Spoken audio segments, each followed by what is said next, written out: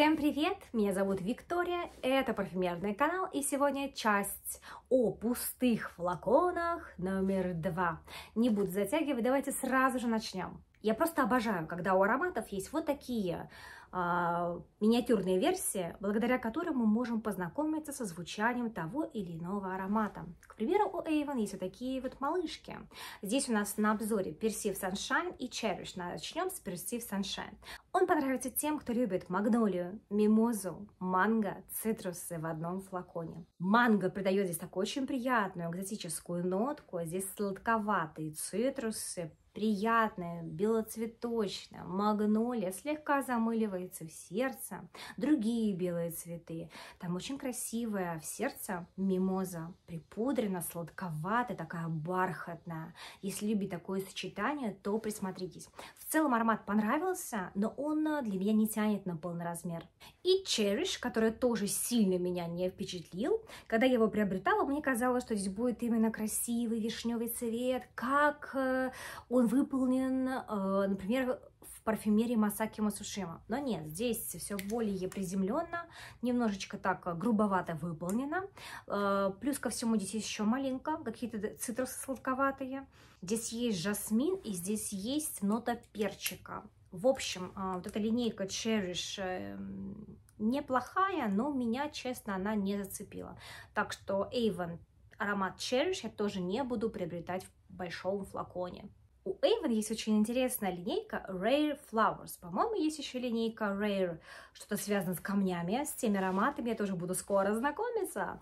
Закончился у меня аромат э, из серии «Редкие цветы» Solar Narcissus. Кстати, удивительное дело, в это аномальное лето в этом году у меня не цвели мои любимейшие нарциссы, которые всегда всю мою жизнь цветут рядом с нашим домом, посаженным мною в клумбе. В общем, какая-то удивительная история. Этот аромат очень тихий, очень спокойный, очень прилежный. Он не кричит, он не выделяется из толпы. Он именно близко к своей хозяйке сидит. При этом очень нежно, легко, окутывает, каким-то буквально эфиром э, покрывает сверху, снаружи. Здесь приятнейшая нота абрикоса. Мне кажется, здесь есть османтус. Здесь есть э, нотка нотка цитрусовых, но не могу понять, какие именно цитрусы здесь есть. Нотка тиары придает небольшую экзотичность аромату, приятнейший нарцисс, да, я здесь его слышу где-то в сердце, даже уже ближе к базе. Очень спокойный аромат, иногда мне хотелось дома его на себя надевать или в выходной день приятнейший. Не знаю, буду ли повторять, но в целом очень-очень классно, белоцветочная, даже в какой-то степени медово. Есть в моей коллекции вот такой волшебный, сказочный, потрясающий дизайнерский флакон Алена Ахмадулина от Фаберлик о нем уже прям вот складывают легенды, какой он потрясающий по звучанию, этот аромат Алена Ахмадулина Фаберлик. К слову, покупала я его на Авито, и мне даже продавец не сказала, что крышечка здесь просто отвалилась. Пришел он мне какой-то весь в разваленном состоянии, в коробке, без пупырки, без какой-то подкладочки, и продавец даже еще просил меня оставить ему отзыв. А, на этот аромат я в основном любуюсь, а активно использую тридцаточку. Это древесно-амбровый сливовый аромат. Там есть какая-то еще персиково-абрикосовость, ближе к сердцу. Аромат сказочный, как какая-то старинная шкатулка, в которой веками хранятся украшения какой-то прекрасной, замечательной королевы.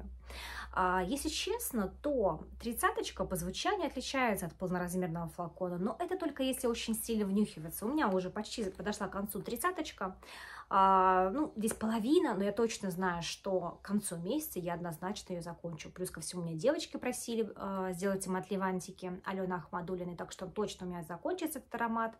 Здесь очень красивая слива, дорогое дерево, аромат имеет такую какую-то даже приятную терпковатость.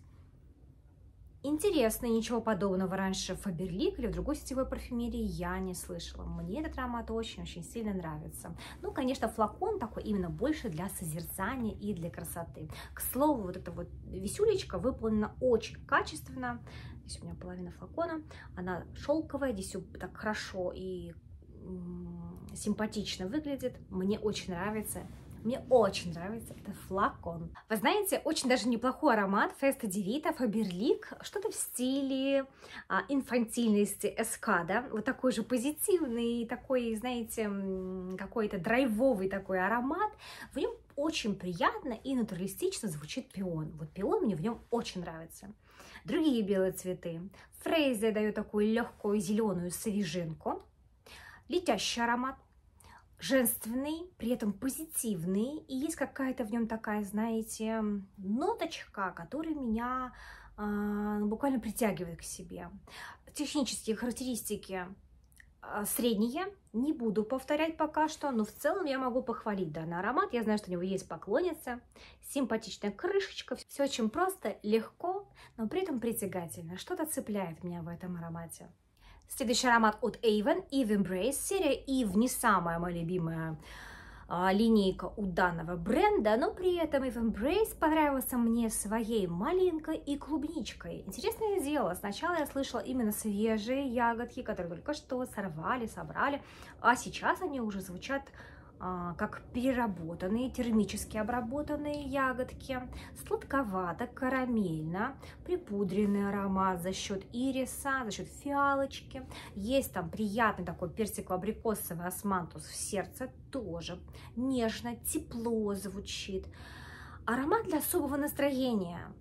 А, на мне он держится примерно 4 максимум 5 часов, симпатичный, но любимчиком не стал, поэтому повторять точно не буду. Наш самый любимый аромавирус. Закончилась вот такая фиолочка 11 мл, цветущая сирень. У меня уже на канале целых два видео, посвященных данному российскому очень бюджетному бренду, который представлен на сайте Wildberries. Друзья, я просто обожаю сирень. Я весенний человек, мне нравится все, что связано с весной, кроме аллергии, которая проявляется у детей, к сожалению. Аромат сирени, он волшебный, он очень простой, но при этом он так и манит, но он такой даже слегка таинственный для меня. Я только в этом году обратила внимание, что каждая сирень, каждого вида, каждого сорта, белая, сиреневая, фиолетовая, махровая, я заметила, что все они по-разному пахнут. Не знаю, либо нос натренированный уже стал более-менее, либо я именно обратила внимание на это только этой весной. В общем, это интересный факт для меня. Друзья, цветущая сирень вам понравится, если вы любите, конечно же, эту ноту. Это именно моноаромат слегка влажноватой сирени. Как правило, во многих бюджетных ароматах сирень передают не натуралистично, химозненько, на уровне освежителя воздуха. Здесь нет, здесь приятно, свежо, легко, притягательно, немножечко это слегка-слегка припудрено, ну, в общем, это классно. Я думаю, что следующей весной для поднятия настроения я приобрету такую же фиолочку.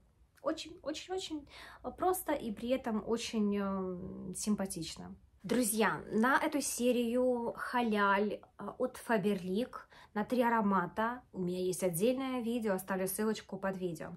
Закончилось масло Галби еще раз, в сотый раз повторюсь, что я не люблю носить никакие масла парфюмерные ни в каком виде на себя. Хотя у меня сухая кожа, и в уходе за кожей я люблю пользоваться маслами. Но ароматы носить на себя намазом – это не мое. Но сам по себе аромат Галби, он очень интересный. Он сложный, сложно сочиненный, и вот его хочется разгадывать. Он очень таинственный, он глубокий. Там смолы, там пряные травы, там специи, там даже герань есть, там даже, мне кажется, и гвоздика тоже есть. Мускатный орех там есть. Пачули, мускус, дерево, дорогое дерево. Сам по себе аромат очень интересный. Сейчас а, будут еще другие масла, которые тоже у меня закончились. И в основном а, наполовину я ими пользовалась, наполовину я их использовала в хозяйственно-бытовых а, нуждах. Например, заливала их в аромадиффузоры, использовала их для особенного спрея, про который я много раз рассказывала, который я делаю самостоятельно для очищения всех поверхностей. В общем, сам аромат понравился, повторять из-за формата, конечно, не буду. Еще одно, это уже арабское масло под названием Рассаси. Twinkle. У меня есть еще зелененькое маслице, это закончилось полностью. Так интересно оно вот здесь вот наносится при помощи такого длинного э, стеклянного стержня. Сам аромат очень приятный, в нем черная смородинка, здесь и ягодка, и лист черной смородинки, персик, спелая груша, какие-то другие цитрусы, припудренный, таинственный ирис, здесь есть нота питалии, пион плюс роза. И все это очень женственно, элегантно, красиво, объемно звучит. Аромат переливается, нотки меняются. Я слышу здесь отчетливый старт, и сердце, и базу достойный аромат, интересный. Единственное, что я недавно видела цену на это масло, оно стоит 1200 за 5 миллилитров. Я считаю, это завышенная цена. И еще, насколько я знаю, есть спиртовой вариант аромата Twinkle от Рассаси. Вот его, я думаю, я бы когда-нибудь и приобрела, потому что сам аромат достойнейший. И еще одно маслице арабское закончилось. Бренд называется Халис. Я не знаю, как он называется. Я даже не помню, откуда оно у меня взялось. Либо кто-то подарил, либо кто-то откуда-то привез. Не знаю, не помню. Может, я его приобретала. Вот просто, что с моей памятью происходит, не знаю. А, я попишу вам название. Вот такое оно. А, очень вот прям вот на сто процентов это масло, конечно, звучит по-арабски. Здесь и ут, и дерево, и мускус, и смолы тяжеленькое, такое медовое.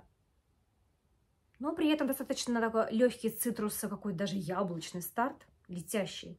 Быстро-быстро улетает за пару секунд, и начинается вот эта вот медовая, такая даже иланговая история. Э, в целом неплохо, но не мой аромат. Мне он не очень понравился, поэтому ну, я точно его доиспользую в хозяйственных нуждах. Либо я его кому-нибудь отдам, либо а, не знаю, либо выброшу, посмотрим, что я с ним сделаю. Но однозначно носить такое я не буду. И, в общем, вывод, масла не мое. Но, в принципе, мне приятно изучать ароматы э, в виде масел, но носить на себе до сих пор их не могу. Ну что, мои дорогие друзья, мы подошли с вами к концу данного видео. Я благодарю вас за ваше внимание, за лайки, комментарии. Напишите, пожалуйста, что понравилось, что не понравилось, какими ароматами знакомы, какими хотели бы подружиться и узнать их звучание. Я вас обнимаю, увидимся в следующих видео. Пока-пока!